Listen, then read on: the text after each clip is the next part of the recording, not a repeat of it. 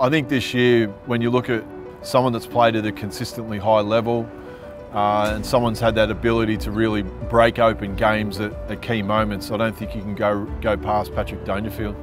Paddy will probably win it, uh, but you know Buddy's year's been been pretty serious as well. So um, look, whoever wins it, there's probably four or five guys that could justifiably walk out of there there with the award and, and would be um, very worthy winners.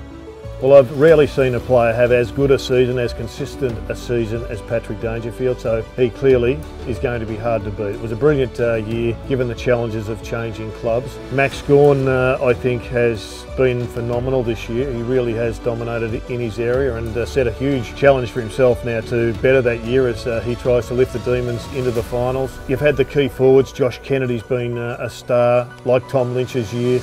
Buddy's been Buddy and the Swans have got that quartet of midfielders. Luke Parker has been brilliant, Hannebery and Josh Kennedy I think uh, is just about ready to win one of these massive awards. There's been great players all around the competition but uh, they stand out to me.